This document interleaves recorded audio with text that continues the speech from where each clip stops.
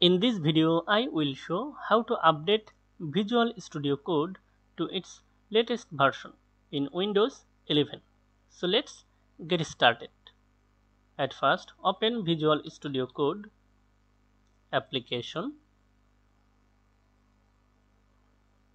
and then click on Help tab and then click on Check for updates. It may take a while for downloading the update or installing the updates.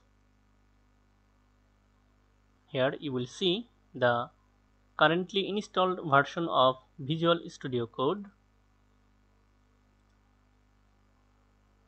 installed completed now restart to update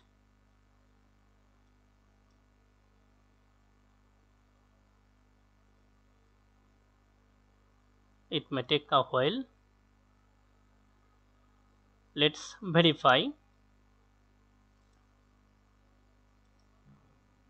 That's it.